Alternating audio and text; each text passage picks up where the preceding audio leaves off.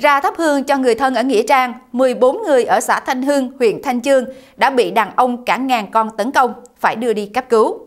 Nói với báo Người Lao động, chiều 8 tháng 6, ông Lê Văn Nghị, Chủ tịch xã Thanh Hưng, huyện Thanh Chương, xác nhận là ở xã vừa xảy ra một vụ ông đốt hy hữu khiến nhiều người bị thương.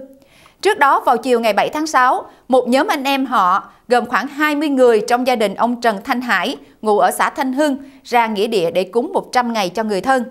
Làm lễ xong thì gia đình ông Hải mang vàng mã ra đốt.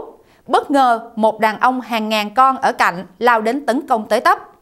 Sau khi đàn ông rừng tấn công, đã có 14 người bị ông đốt phải đến trạm y tế xã Thanh Hưng cấp cứu, rút nọc, tiêm truyền các loại thuốc chống dị ứng và hồi sức.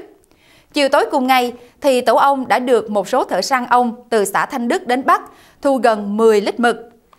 Chính quyền xã Thanh Hưng cũng cảnh cáo người dân tránh xa khu vực Nghĩa Trang để bảo đảm an toàn khi ở đây xuất hiện một số tổ ong mới.